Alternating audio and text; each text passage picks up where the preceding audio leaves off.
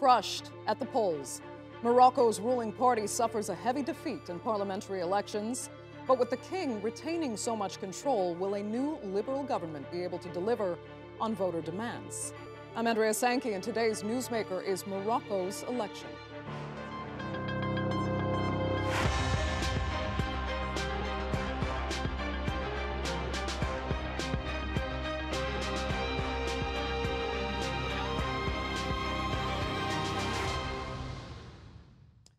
Could be described as catastrophic for Morocco's socially conservative Party of Justice and Development, or PJD.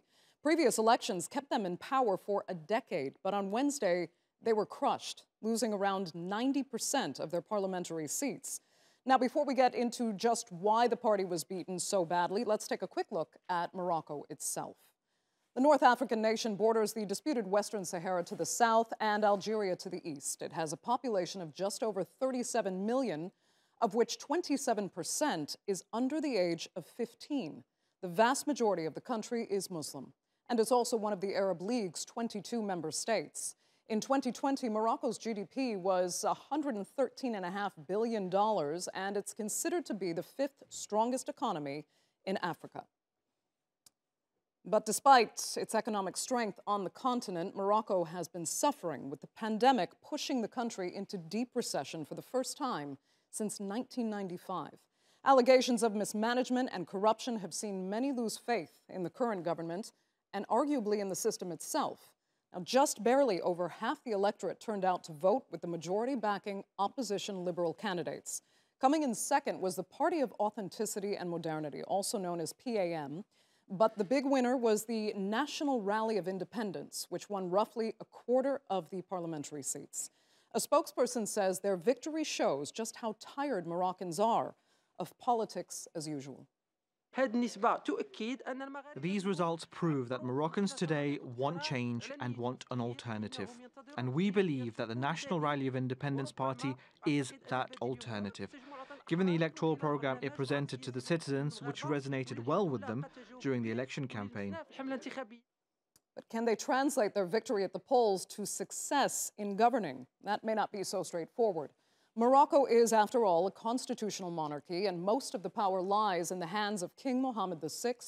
He picks the prime minister, controls the economy, and not much really gets done without his approval.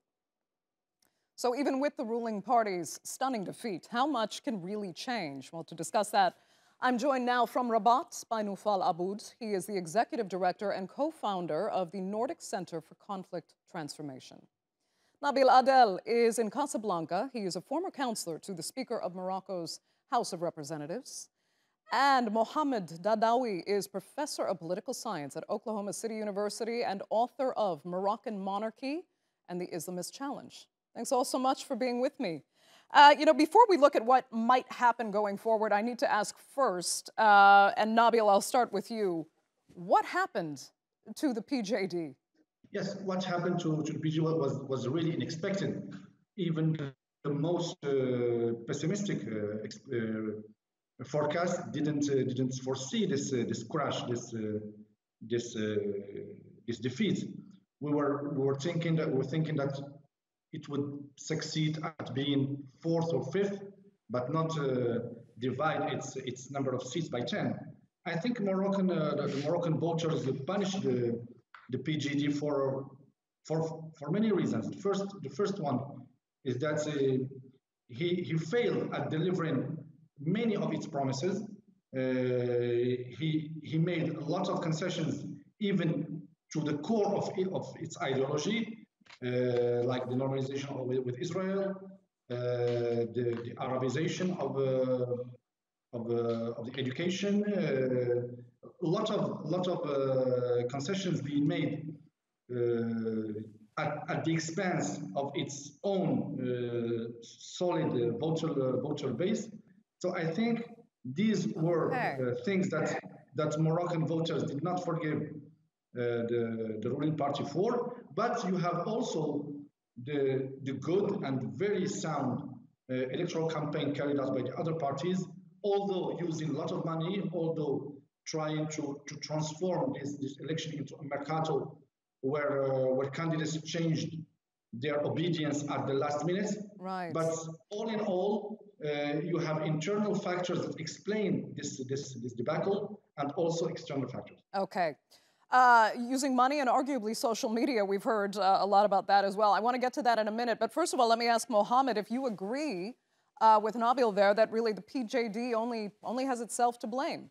Uh, well, yes and no. I think uh, on one part, yes, strategically speaking, the PJD made certain uh, mistakes in terms of governance once they had the power, or nominal power, we should say, because in the context of Morocco, as your report suggested, is, is accurate. Morocco is still a monarchy that does control a lot of the decision making. So yes, I mean they have promises, as uh, uh, Mr. Nabil said, but those promises cannot be delivered if they don't have, you know, full-fledged control over the executive uh, executive power, as you would expect from any, uh, you know, government. Uh, and on the other hand, of course, I, I see this more of a uh, just a, a historical structural change on par with what happened in the past in Morocco. This is not the first time that we are engaged in this what I call a recycling of party coalitions that happens periodically in order to kind of give a certain legitimacy to kind of the modern state in Morocco with an effective kind of control from the monarchy itself. So yes, I mean these parties run effectively or not, but we know that the uh, elections in Morocco are, stru- are, engineered structurally speaking. The introduction of the coefficient also did not help the PJD and didn't help themselves. I wrote long time ago in 2016 that after the blocage, what was called the blocage in Morocco at that time, by which uh, Ben the prime, former prime minister, head of the government, was ousted, there should have been, I think, a calculated decision by the PJE, PJD to withdraw from the government. I think that would have accrued more popularity at that time. The fact that they stayed, they kind of overstayed their welcome, and they, dead, they, in a sense, died by a thousand cuts, you know, over the period of ten of ten years. But ultimately, of course, this is a, a resounding defeat for the PJD, a historical defeat for them. Uh, and, and, in my view, they have done their job for the regime over the 10 uh, the last 10 years. They managed to normalize with israel under the aegis of course of an islamist government right? And they managed of, of, of course most importantly to manage did they the manage tempest. that or did the king manage that well, they but the king needed to add a little bit of legitimacy to that decision. That decision is still unpopular in Morocco. I mean, if you look at the Arab barometer, of course, uh, uh, research and surveys, Moroccans are against that decision. But it helps if you have an Islamist party at the helm what the decision is taken. It okay. legitimizes it in the eyes of those, of course, that may be a little bit reticent right? But ultimately, this is a it doesn't change much in the context of Moroccan landscape. Okay. The decisions are coming from a certain uh, uh, certain uh, uh decision makers in the palace. Okay, no, Noufal, I'll get your opinion as well on what happened to the PJD, but I also want to ask you about the RNI. Uh, and why you think it's uh, per performed so well. Do you think it was a rejection more of the old guard in the RNI's success, or um, were they really savvy campaigner campaigners this time? Exactly. There were savvy campaigners this time, uh, and especially in social media. What we witnessed in social media uh, during the political campaign was a, a great, uh, uh a great engagement um, uh, among uh, Moroccan people that we haven't witnessed before. And whether was it a positive engagement or a, a negative engagement, it was an engagement, and it was, and the RNI did really well in those campaigns. They were prepared for the electoral campaign, and also they used the division within the uh, PJD uh, political parties in, inside the, the, the, political parties in itself. Uh, we have been witnessing a crisis at the leadership level. They uh, they use that uh, to their favors, and of, of course, Morocco and Moroccan people they need something different. The PJD was in power for a long time, two terms. Uh, and especially uh, for the last term, they have a very weak prime minister, and uh, that did not really help. Okay. Um, Nabil, I'll come back to you because, as Mohammed was really alluding to, uh, here we're going to see again the shuffling, the forming of coalitions. Um, 97 seats, it's, it's not a majority. So, how easy will it be, you know, really to rule Morocco uh, without a clear majority for anyone anyway? I think this is this is the landscape of the of political system in Morocco. So it is built around the idea that nobody can, no party can get the majority to to to rule alone, and we need this kind of uh, of coalitions to to build in order to, to be able to, to, to form a government. This, this was, was the case since the independence of this country. And it is not going to change overnight. So yes, we still have uh, a system based on, on, this, uh, on this kind of, of trying to have many parties forming a coalition and so that nobody is is in in control of the whole executive uh, apparel. So today we will, witness, I think, in my, in my opinion, less uh, tensions than in 2016. I think we have two to three parties that can form a government easily. Uh, most of them have uh, have worked together before. I'm thinking about the NRI, uh, the Istiklal, the, the Socialist Party. I think they, with another party, they, they can form easily a coalition. They, they, they worked together in 98, 2002, 2007, 2016. So they know how to work with each other and they can form easily a coalition that can, that can form a government very, very quickly.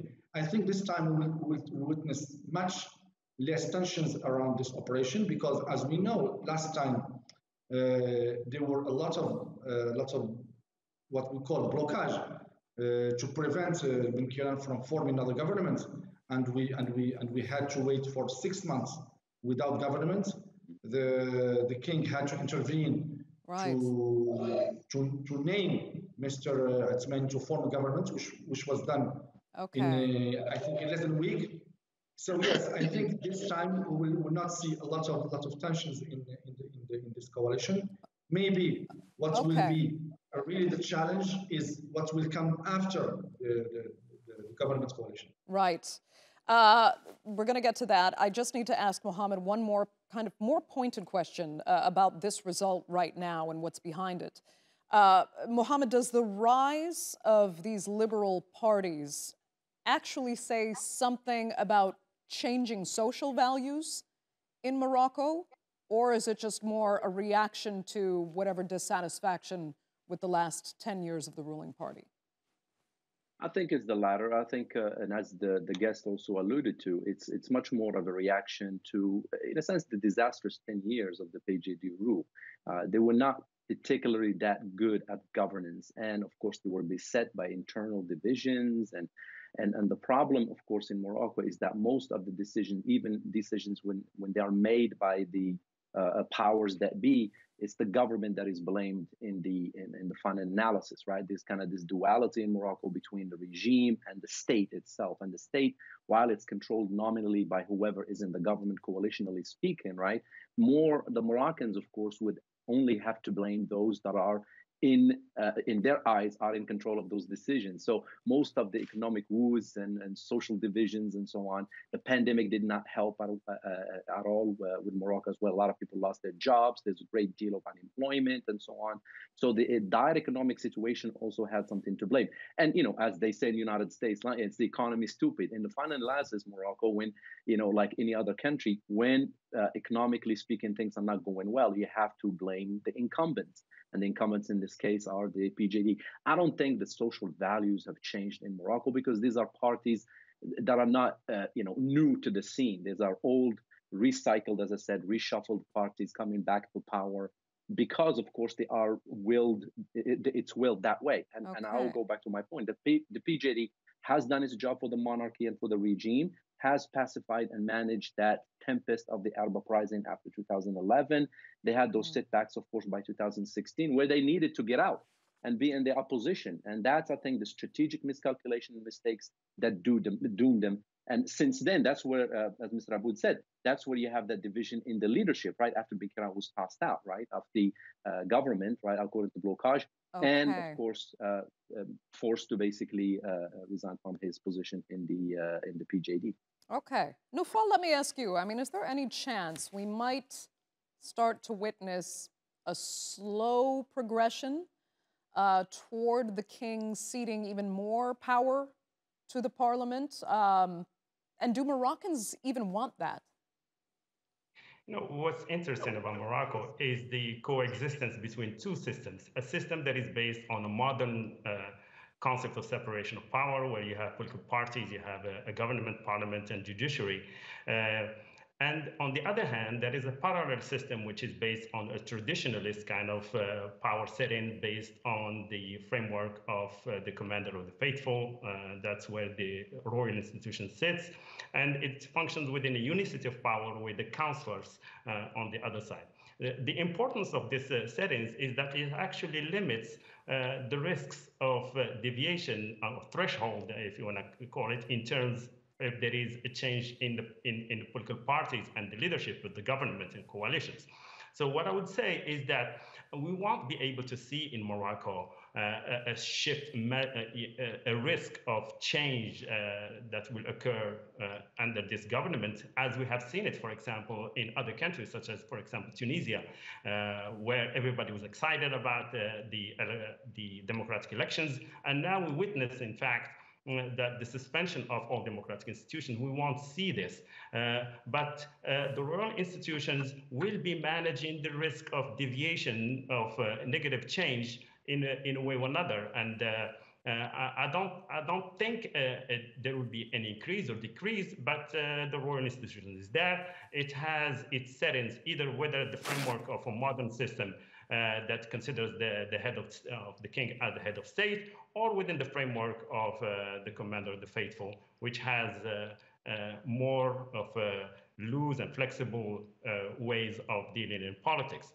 Okay. So, what what I would like to add, uh, and I don't think it has been mentioned here, uh, is the electoral reform that has occurred in Morocco. We will see more women in the political participation and, and seats uh, reserved for women. And that's the, the massive change that we will see during this uh, uh coming government and elections. Interesting. Those electoral changes are actually can be quite confusing uh, for outsiders to really understand. And, and some say that also could have influenced the outcome of this election because votes uh, are apparently now allocated based on the number of people registered rather than the actual votes cast. Yeah. Nabil, mm-hmm. yeah, uh, Nabil, yes. can you can you explain exactly how it works, who it benefits, and who it might uh, work as a disadvantage for?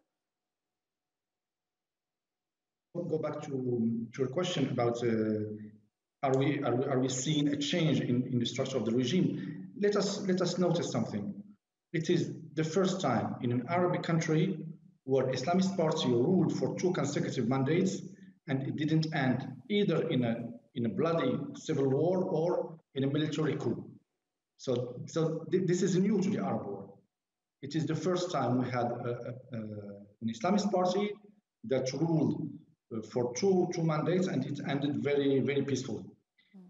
Uh, and this is this is due to the nature of, of the Moroccan regime.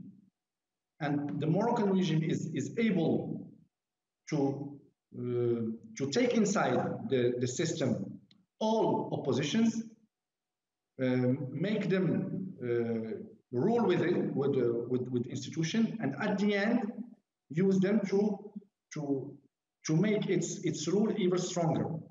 So this is very, very important uh, phenomenon to, to note.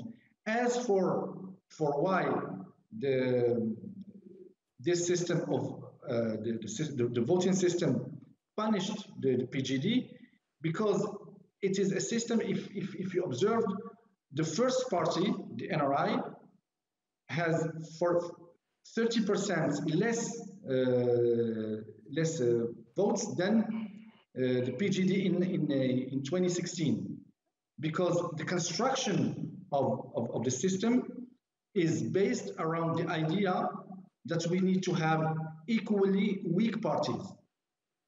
Okay. We, we, don't want to see a strong party emerging from, from the, the election. Okay. So either in terms of, of votes, of the, the mechanism of counting the votes, of, uh, of the decomposition of, of the, the map, the electoral map, you will you will all you will always have okay. the first party always needing some some party, uh, some other parties to rule. You will never have one or two parties having enough votes to form uh, by themselves uh, a government. Okay. And this is been one of the pillars Amen. of the electoral system in Morocco. Uh, yeah, uh, Mohammed, go ahead. And if I may, that's what I say that this is what we call electoral engineering, right? And this is done by design in order to mitigate in in, uh, uh in the uh, the fact that a party with a majoritarian mandate will actually be in power, right? And that would force the regime, the monarchy in this case, to make certain concessions. But that's not going to happen in Morocco because of the nature of the elections itself. And I don't think there is that will to see more of the powers, you know, themselves. Now, and I wanted to respond just to one the, the comment that you know the we want to prevent deviations in the systems and so on and so forth, which is fine for the monarchy to do as an arbiter. But the monarchy is not an arbiter in the political system. It is part of the political system. It is the uh, power with the veto, uh, with with the great discretionary powers and control over the system. Um, you know, and I think uh, yes, Moroccans, for the most part, at least in, in, my research, whatever, they are attached to the monarchy, and the monarchy is mm. seen as a positive force and whatnot, right? But I think it might be better for Morocco in the long term to actually enable some true democratic renewal, democratic changes, and democratic reforms in the country, and in a sense, lessen the ability of this uh, uh, electoral engineering mechanisms, of course, to control much of the fate of these political parties. Because in the final analysis, political parties are not seen to be, and you look at the barometer as well, the surveys, they're not seen as real uh, uh mobilization of forces, okay. the capacity, of course, to affect change. Okay. Uh, yeah. uh, Noufal, go ahead quickly. Yeah.